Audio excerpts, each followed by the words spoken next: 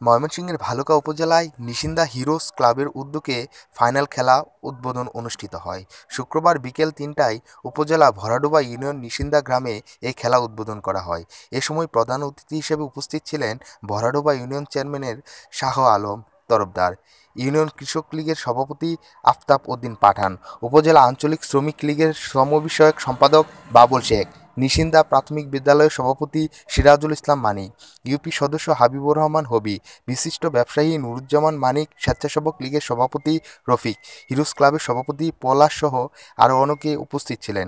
খেলায় অংশগ্রহণ করেন ফরাজি ক্লাব বনাম সূর্যোত্ত মণ্ডল ক্লাব।